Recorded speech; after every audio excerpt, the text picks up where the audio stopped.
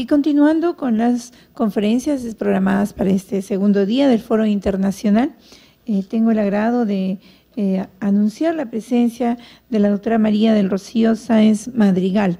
Ella es presidenta ejecutiva de la Caja Costarricense del Seguro Social, médico especialista en salud pública, fue ministra de Salud, ministra coordinadora del Consejo Social de Gobierno y ha sido responsable de la planificación y la evaluación del desempeño del sector salud durante el proceso de reforma en Costa Rica.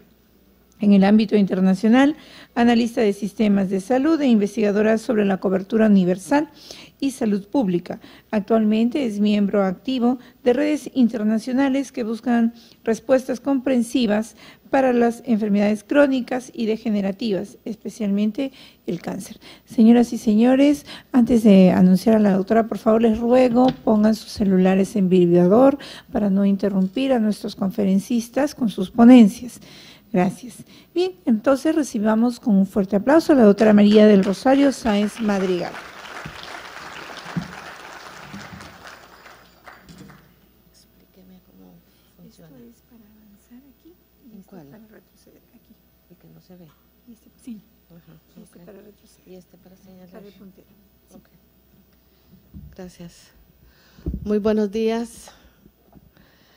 Voy a, tratar de moverme un poco para no estar tan,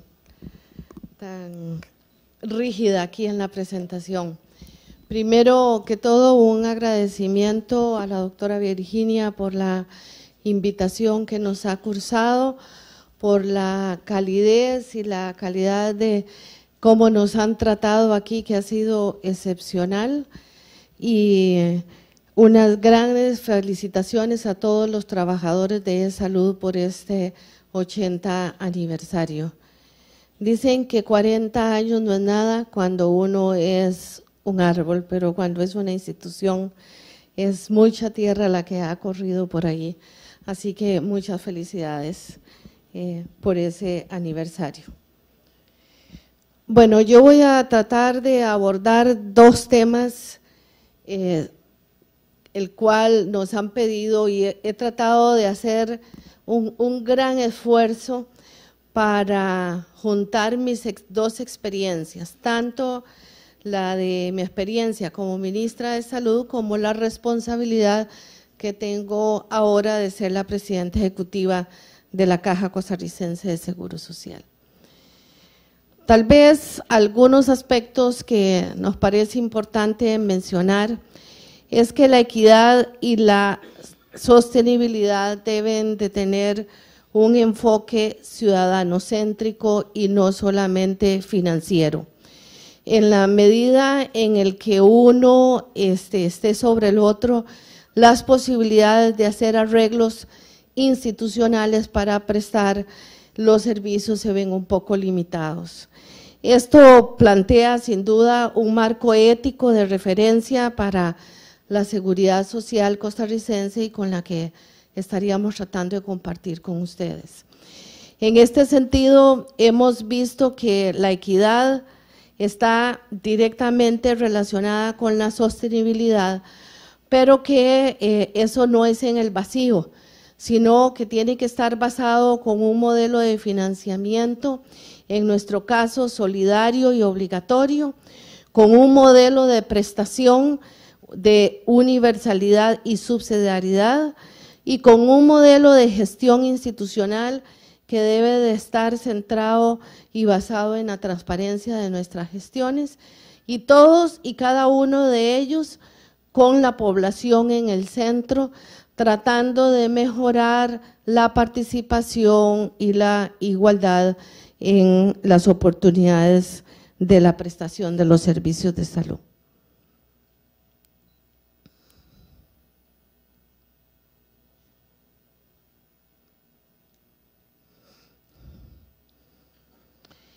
Algunas premisas con relación a la equidad.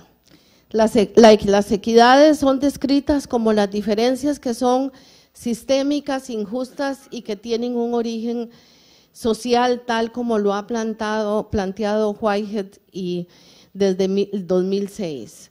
En este sentido, uno puede encontrar dos vertientes, aquella, la equidad horizontal, entendida como la igualdad de acceso para igualdad necesidad, para igual necesidad.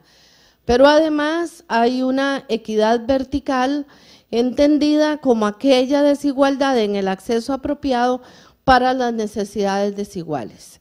Es decir, si nosotros ofrecemos servicios iguales para necesidades diferenciadas, no estaríamos avanzando en equidad porque estaríamos dándole lo mismo siendo que las necesidades son distintas. En este sentido, hablar de sostenibilidad y equidad, obviamente algunos conceptos que voy a, compartir con ustedes modulados por la experiencia. Tal vez dos aspectos importantes, desde el planteamiento de los determinantes sociales de la salud, en el cual se hace un acercamiento a la equidad desde las dimensiones del acceso, vemos que hay condiciones en que las personas nacemos, crecemos, vivimos, trabajamos, envejecemos y morimos, estructurales de esas condiciones, es decir, que está relacionado con la distribución del poder, el dinero y los recursos y esto fue reconocido desde 2009 por la Organización Mundial de la Salud. Esta visión implica al menos dos aspectos.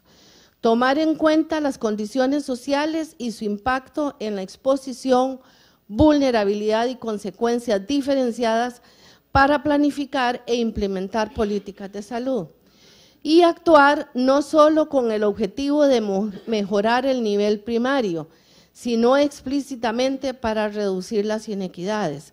Y esto está tomado de Sir Michael Marmor del 2013.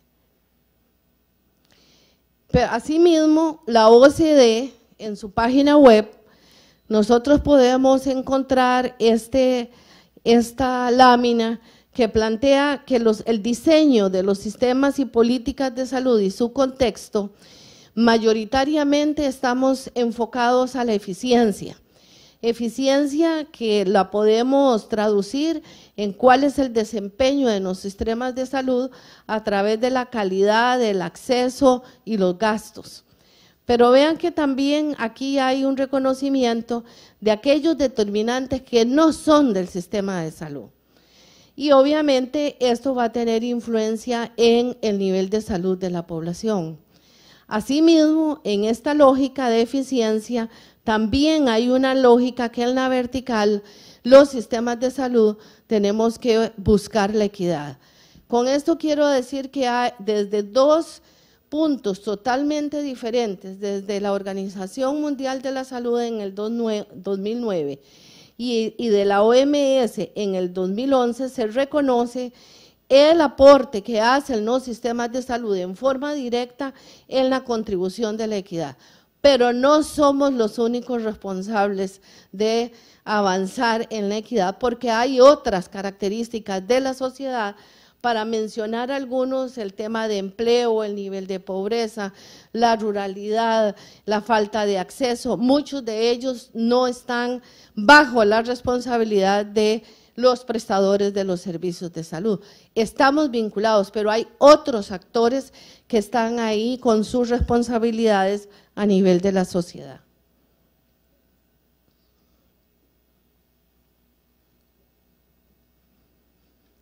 No sé si soy yo. Bueno, en este sentido, cuando estamos hablando de la sostenibilidad de los sistemas de salud, ¿en qué estamos pensando? Estamos pensando en corto plazo y equilibrio financiero. Estamos hablando en el mediano plazo y podríamos decir avanzar a una estabilidad financiera. Estamos pensando en el largo plazo y cuál es eh, el concepto que vamos a tener de esa sostenibilidad de largo plazo. Y obviamente tratando de hacer una puntualización de la diferenciación de estos tres, diríamos que un equilibrio financiero es algo puntual en un momento dado. Una estabilidad financiera va relacionada a un periodo. Una sostenibilidad financiera en el largo plazo ya lleva una visión más prospectiva y no tanto reactiva para resolver los problemas Y obviamente estos análisis no se pueden hacer ajenos al riesgo de la gestión prestacional y al riesgo de la insostenibilidad, los cuales son sin duda inversamente proporcionales. Entonces, a veces uno se pregunta, ¿son estas definiciones suficientes para enfrentar los retos que vemos en el horizonte de los sistemas de salud y protección social de América Latina? Bueno, sin duda la sostenibilidad es un tema complejo y tenemos un cambio en el perfil epidemiológico que ya lo hemos visto aquí mencionado por varios de los conferencistas. Pasamos de un, de un perfil de enfermedades transmisibles y relacionados, en el caso de Costa Rica, esta transición no es tan pareja en toda la región de las Américas, sino que están conviviendo esos dos perfiles donde tenemos enfermedades relacionadas a, las, las, carencias y otros relacionados a los logros en salud, como tiene que ver el envejecimiento. El otro es cuáles son, las, cuáles son las brechas que tenemos para cubrir esas necesidades y cuáles son las características que están dominando. Es la eficiencia, es la eficacia, la oportunidad razonable, es la calidad incluido eh, la parte técnica, el trato y las condiciones físicas. Pero también tenemos un problema del tiempo. Aquí como que la población estaba creciendo y aquí se nos empieza a disminuir. Y no solamente la población, sino cuál es el tiempo que tenemos disponible para hacer esas apreciaciones y propuestas. En este sentido, y muy rápidamente, en el caso de Costa Rica, nosotros tenemos un, sector salud conformado y liderado por el Ministerio de Salud que lleva la rectoría y la conducción del sistema de salud, un seguro social que es el proveedor público único de servicios, las universidades, las municipalidades y el Instituto Nacional de Seguros que ve riesgos del trabajo y accidentes de tránsito. Tal vez aquí mencionar que, contrario a lo que pasa en otros países como Colombia, los municipios no tienen ninguna responsabilidad de prestación de servicios de salud.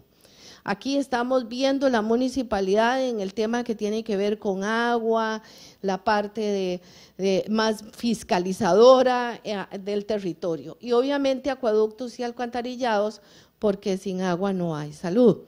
Entonces, aquí, digamos, este es el único proveedor de servicios de salud. Por otra parte, la Caja Costarricense de Seguro Social también tiene eh, el tema de pensiones con un pilar del régimen no contributivo, que es el pilar cero, perdón, pero se me movió ahí la lámina. Tenemos un primer pilar que está a cargo de la seguridad, seguridad social, el Ministerio de Hacienda y el Poder Judicial, que en el caso de la Caja Costarricense de Seguro Social es la única que tiene un techo de pensión, los otros están en este momento en discusión en la Asamblea Legislativa, porque aunque son muy pocas, se, pensionan con el último salario recibido sin ninguna deducción, caso del Poder Judicial. Pero además tenemos un segundo pilar que son las, las pensiones complementarias del régimen este, obligatorio. Aquí es un régimen de reparto totalmente, ¿verdad? Y aquí sí hay pensiones individualizadas. Y un tercer pilar que es voluntario y complementario a los, a los otros dos. Este es complementario, pero es obligatorio y este es voluntario.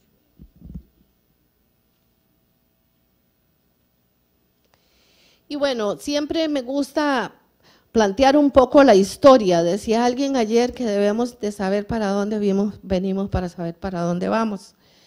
Nosotros nacimos en el 41, básicamente para la población asegurada. Eh, aquí en el 47 era el, el asalariado y ya el tema de pensiones. Se fue incluyendo el beneficio familiar trabajadoras domésticos, este, jardineros y choferes a servicios en casas particulares, básicamente como, como trabajadores eh, voluntarios, el trabajador independiente, el seguro de los pensionados, los convenios para los trabajadores agrícolas, nace el aseguramiento para el Estado, que es la población pobre, que no está asalariada y que está en condición, no solo que no está asalariada, sino que está en condición de pobreza y que el Estado hace su contribución. Eh, ya eh, la obligatoriedad del aseguramiento de los trabajadores independientes y en el 2015 y este año se aprobó el beneficio familiar y la pensión a las parejas convivientes del mismo sexo. En este sentido, ¿cuál es el futuro? ¿Qué, nos está faltando? Afinar un seguro para empleadas domésticas y algunos trabajadores de tiempo parcial, trabajadores de microempresas que encuentran muchas barreras en el modelo tradicional de aseguramiento, el tema de los eh, recolectores de café como un ejemplo de, los trabajadores agrícolas, pero en este en, especial, y los trabajadores independientes buscando algunas modalidades de hacerle la vida un poquito más fácil para su contribución y aporte al sistema de salud. Eh, tal vez eh, no quiero este, saturarlos con este tema, pero sí decir que la cobertura del seguro de salud está basado en un aseguramiento contributivo y no contributivo. Dentro del contributivo tenemos el asalariado, el independiente, el voluntario, el de convenios especiales y los pensionados contributivos. Pero tenemos otra parte que es el aseguramiento no contributivo y ese está con los pensionados del régimen no contributivo, es decir, son las personas que llegan a sus 65 años y no han aportado y están en condición de pobreza. Tenemos beneficios familiares, tenemos la protección de algunas leyes especiales y el paquete, digamos, por cuenta del Estado, que son las personas este, para la prestación de salud, que no son los pensionados, este es para la prestación de salud este, por cuenta del Estado. Eh, básicamente esta, esta cobertura, eh, nosotros podemos ver rápidamente que nacimos en el 44 con 3.6 de asalariados, hoy tenemos el 24.5%, teníamos un 96% de población no asegurada y en este momento tenemos un 6,4% y obviamente aquí el mayor porcentaje es a través de la extensión de los beneficios del seguro familiar que aportó el 44% de las personas protegidas por el seguro de salud. Así, para mostrarlo gráficamente, empezamos con un 3,6 para llegar a un 94% en el 2012. Eh, también es importante visualizar, bueno, cuáles, cuáles son sus aportes, cuánto aporta el patrono, cuánto aporta el trabajador, cuánto aporta el Estado, y aquí lo tenemos en dólares para que podamos hacer, digamos, una, digamos, algunos datos ahí que siempre son, son útiles. Eh, básicamente en el contributivo, ¿verdad?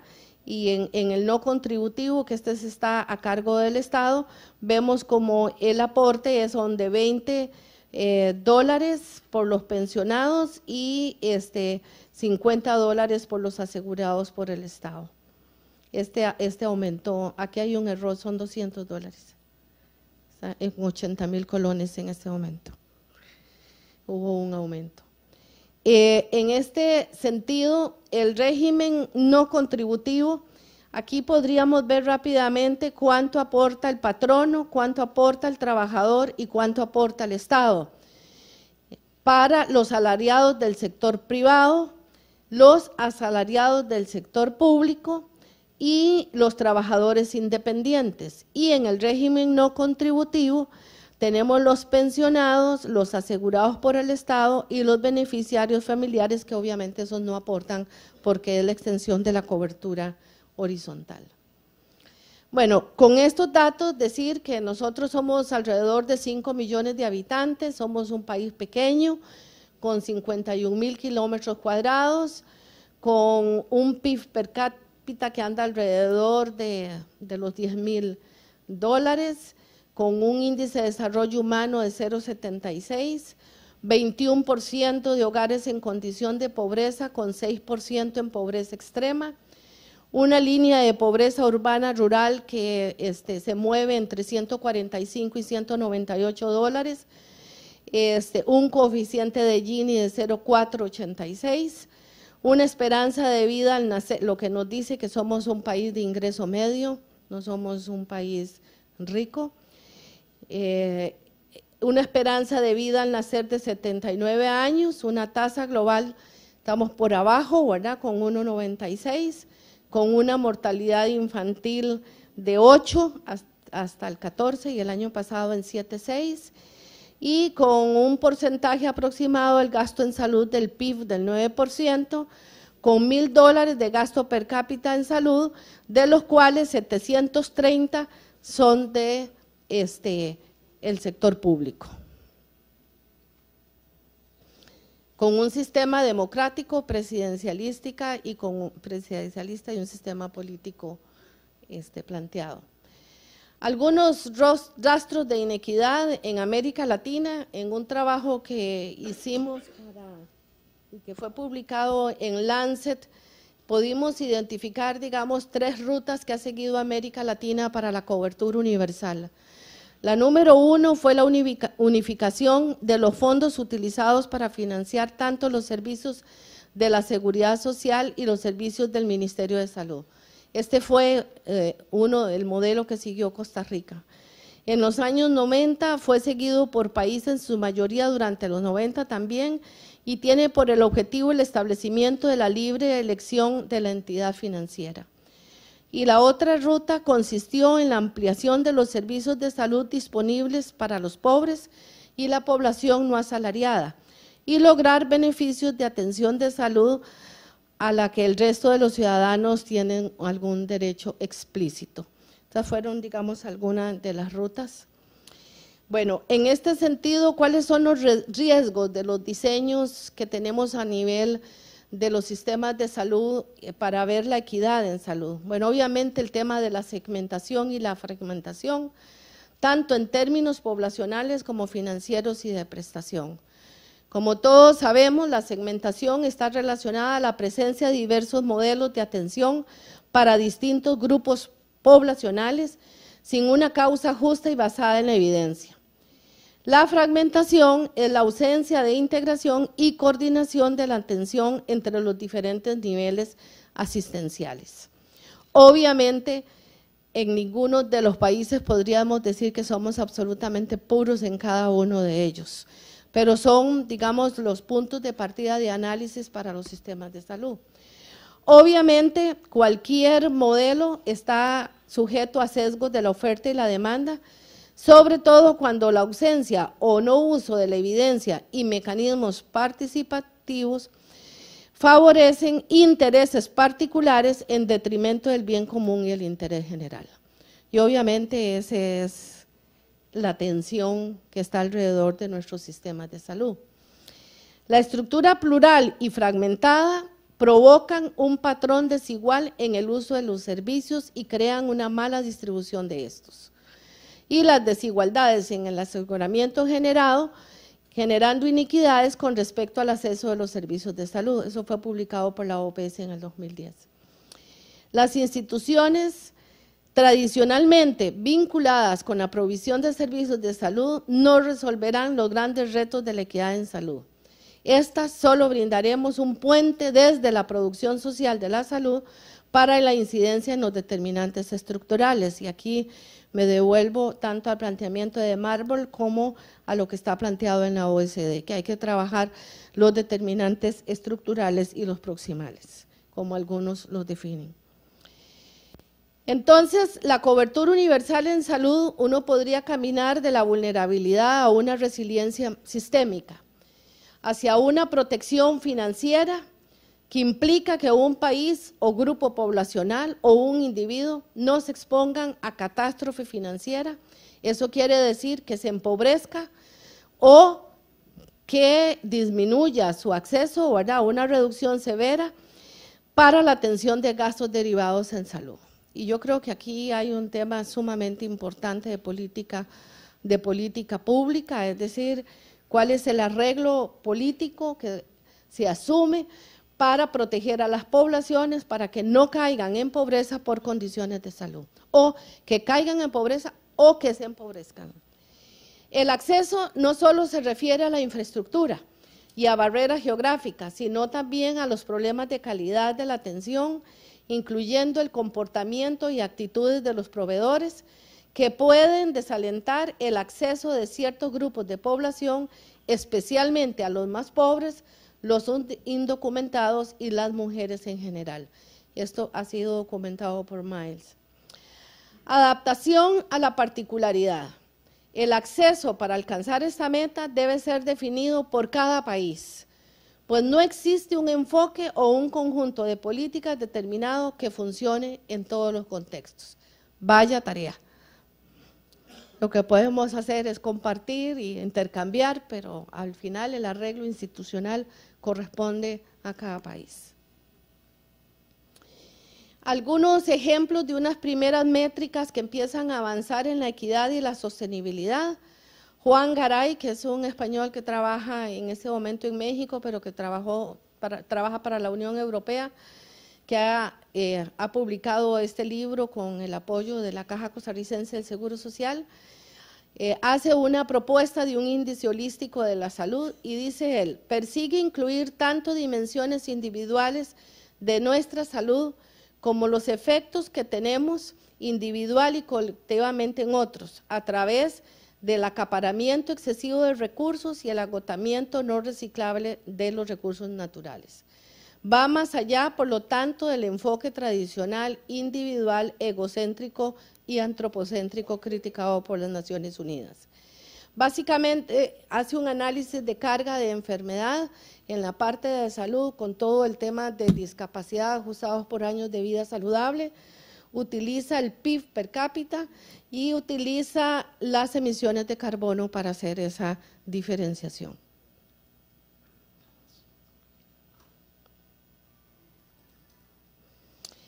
Eh, este índice holístico, como les decía, ve tanto los recursos económicos como los ecológicos y en su estudio plantea algunos países que él considera que son que tienen modelos que son eficientes y replicables y de entre ellos Costa Rica, Cuba, Paraguay, entre otros.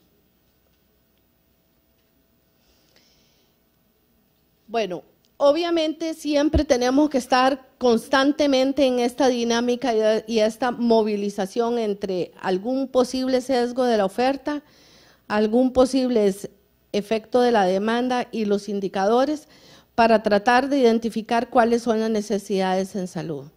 Obviamente mediado por la evidencia y la participación de los sectores sociales, incluidos los empresariales, por supuesto, y la equidad se ve como un resultado de una adecuada y justa asignación de los recursos.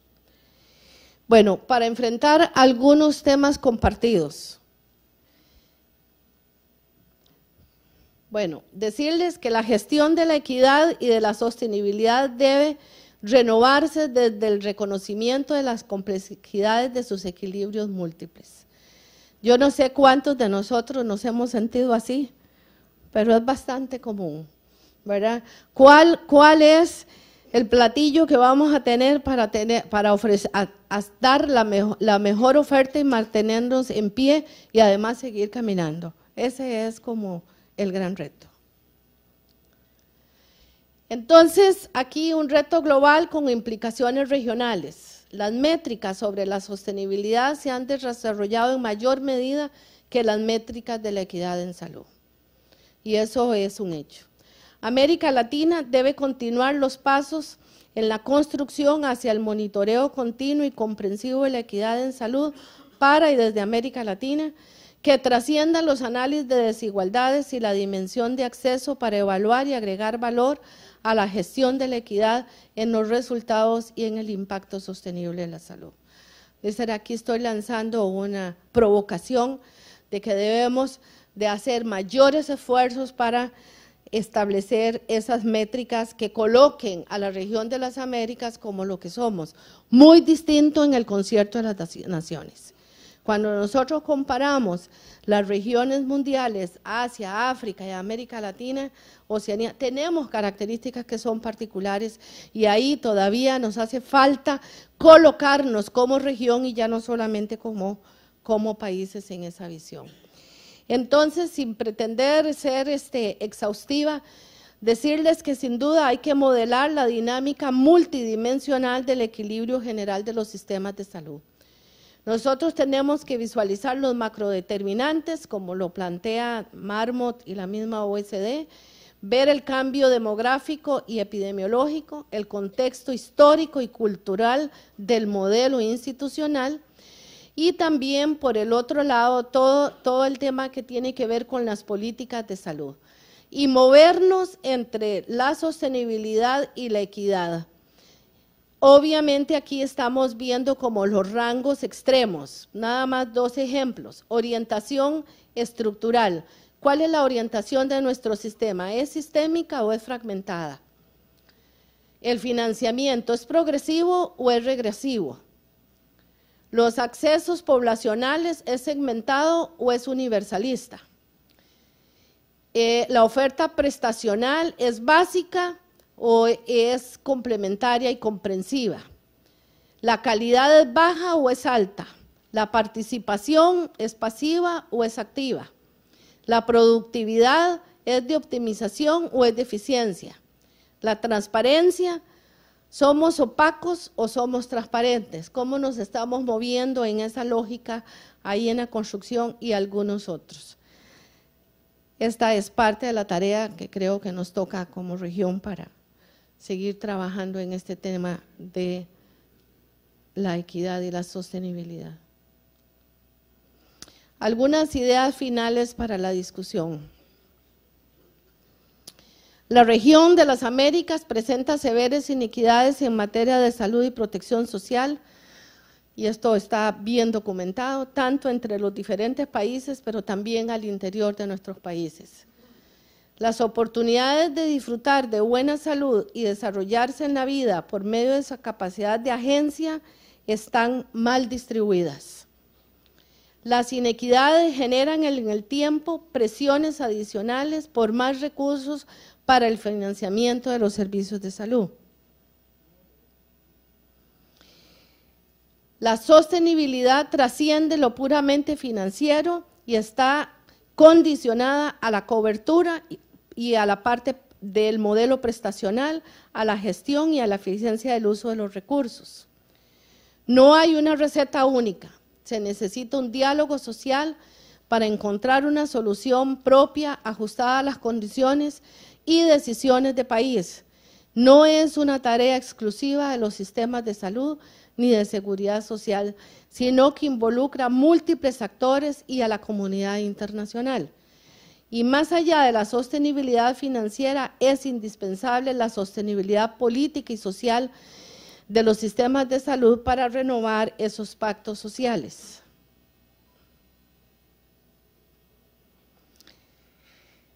Y con esto, para terminar, con esto la propuesta es de construir y plantear nuevas concepciones universalistas de la equidad y la sostenibilidad en salud desde América Latina.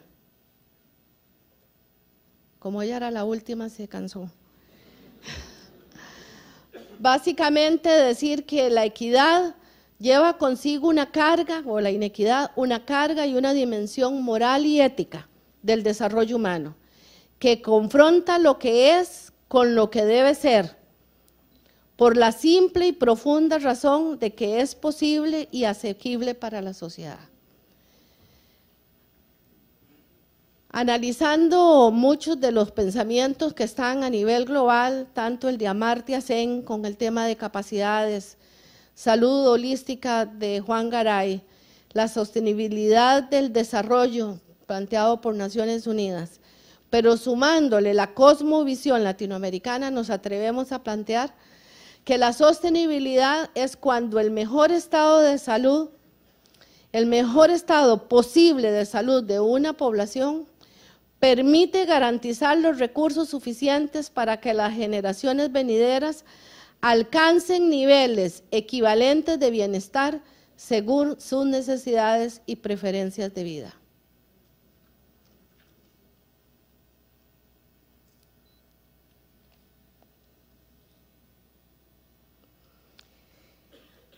Con este planteamiento no es posible para una sociedad un proyecto de desarrollo que excluya por vía de la segmentación o la fragmentación uno o varios grupos de su población del mejor estado de salud viable y asequible para su nivel de desarrollo. Lo mismo implica a nivel global, no solo para la región. La equidad y la sostenibilidad son por ende, principios y destinos interdependientes del desarrollo y el bien común, a los cuales se llega desde distintas rutas históricas e institucionales en la construcción de la cobertura universal y efectiva en salud. Muchas gracias.